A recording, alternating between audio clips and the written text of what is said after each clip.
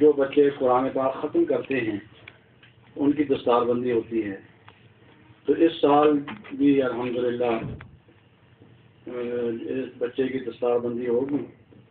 چودھری بشیر صاحب کا نواسا ہے ہاں اس کی۔ اور ایک بچی نے قرآن ختم کیا ہے، اس کی بھی دستار بندی ہوگی، اس کو اسکاف دیا جائے گا۔ تو انشاءاللہ پروگرام کے بعد حضرت مولانا اپنے دست مبارک سے اس کی دستار بندی فرمائیں گے۔ تو اب میں حضرت کو دعوت دیتا ہوں کہ وہ اپنے مخصوص انداز میں سرکار دو عالم صلی اللہ علیہ وسلم سے حضور خراج عقیدت پیش کریں اور ہمیں حضور صلی اللہ علیہ وسلم کی تعریف سنائیں۔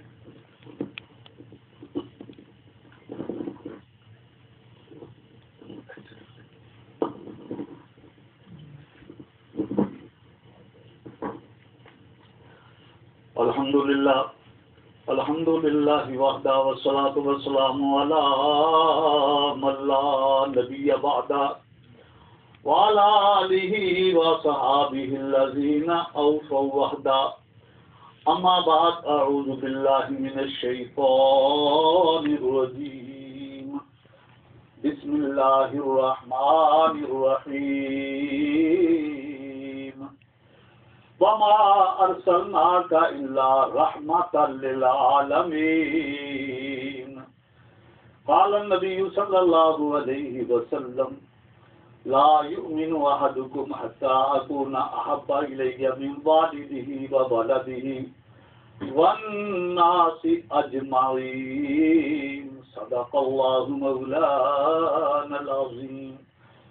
وصدق رسوله النبي الكريم ونحن على ذلك لمن الشاهدين والشاكرين والحمد لله رب العالمين. قدم قدم پہ رحمتیں، نفس نفس پہ برکتیں، جہاں جہاں سے ہوش تھیے آسیاں گزر گیا، جہاں قدم نہیں گئے، وہاں ہے رات آج تک۔ وہیں وہیں سہر ہوئی، جہاں جہاں گزر گیا۔ یا ربی صلی وسلم دا ایمان آبادا علی حبیبی کا خیر الخلق کلہم۔ تمام حضرات شوق و ذوق کے ساتھ ایک مرتبہ درش اللهم صل على سيدنا ومولانا محمد وعلى آل سيدنا ومولانا محمد و وبارك وسلم وصل عليه گرامی، میں شکریہ ادا کرتا ہوں سیکٹری صاحب کا، صدر صاحب کا، خطیب مولانا عبدالرزاق صاحب رحمی مدد اللہ علی کا، اور ان کے بچوں نے بڑی خدمت کی ہے، تلاوت بھی کی ہے، نعت بھی پڑھی ہے۔ آپ حضرات کا بھی شکریہ ادا کرتا ہوں کہ اگر آپ نہ آتے تو یہ جلسے نہ ہوتا۔ اس لیے آپ ہی نے جلسے کو رونق بخشی ہے اور یہ قرآن پاک کی برکت بچے قرآن پڑھتے ہیں، بچیاں قرآن پڑھتی ہیں۔ دعا کرو پروردگار عالم، ہمیں اور دین کا کام کرنے کی توفیق عطا فرمائے۔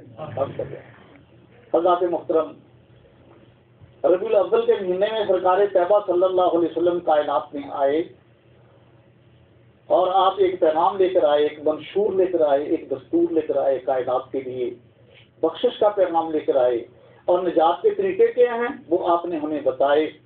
صحابہ کرام نے ہم تک پہنچائے، حدیثیں موجود ہیں بڑی بڑی ہے تاریخ۔ جناب عیسیٰ علیہ السلام ان کا بھی تہوار منایا جا رہا ہے آج کل۔ جناب حضرت عیسیٰ علیہ السلام السلام کے ساتھ پیارے پیغمبر صلی اللہ علیہ وسلم کا بڑا خصوصی تعلق۔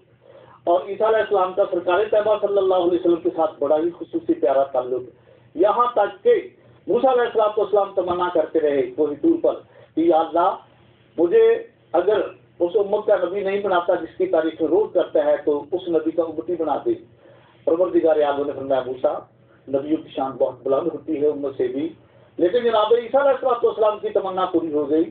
جناب عیسیٰ علیہ السلام والسلام کائنات میں آئے اور اعلان نبوت بھی کیا، اللہ کی توحید بیان کی اور اٹھائیویں پارے کے اندر پروردگار عالم فرماتے ہیں، عیسیٰ علیہ السلام والسلام کی ایک یہ بھی ذمہ داری تھی کہ وہ اعلان کر دے جائیں۔ کہ لوگوں، بنی اسرائیل کا میں آخری پیغمبر ہوں، لیکن ساری کائنات کا آخری پیغمبر آمنا کا لال ہوگا۔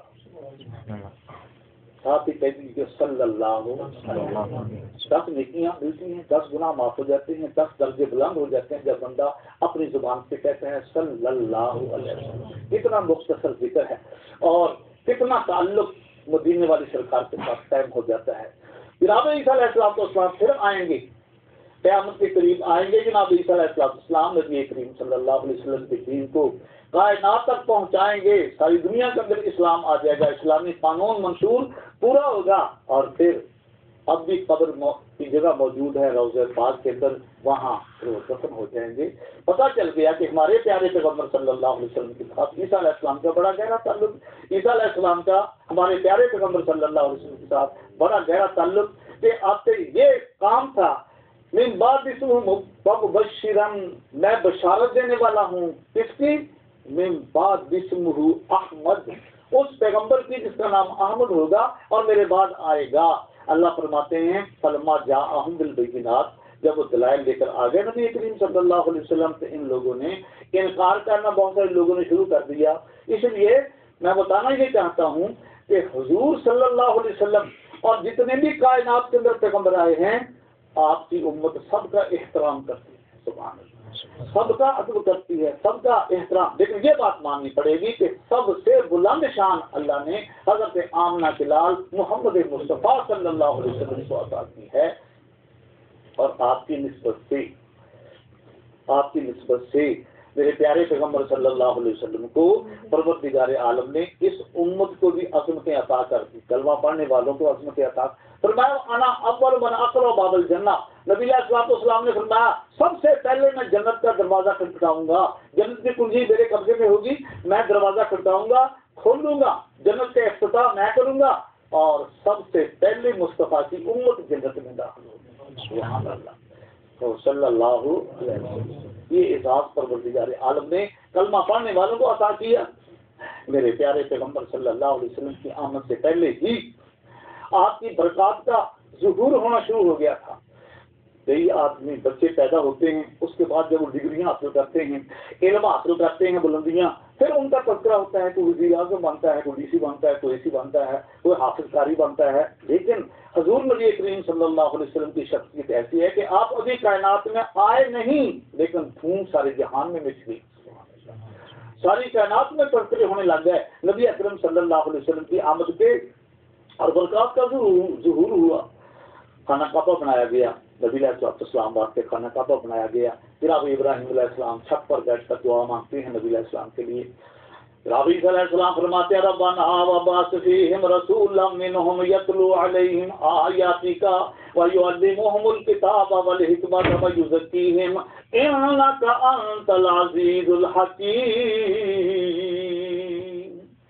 سبحان اللہ کہتے اونچی آواز سبحان ہمارے پنجاب میں، پاکستان میں تو لوگ اپنے آپ ہی کہہ دیتے ہیں، لیکن یہاں ہم چار پانچ سال ہو گئے، ہم جب تلقین کرتے ہیں سبحان اللہ کی، تو ساتھی کہہ دیتے ہیں سبحان اللہ۔ یا اللہ کیا تھا، فرمائے گا، نبی کا ذکر سن کر جو سبحان اللہ کہہ دیتا ہے تیری توحید کا تذکرہ سن کر جو سبحان اللہ کہہ دیتا ہے، قرآن پاک یہ ہے، سن کر جو سبحان اللہ کہہ دیتا ہے، کیا تھا فرمائے گا؟ حدیث پاک کے اندر موجود ہے، نبی علیہ السلام فرماتے ہیں، ایک مرتبہ سبحان اللہ کہنے سے اللہ تعالیٰ جنت میں اس کے نام کا بوٹا لگا دیتے ہیں ود شولٹی۔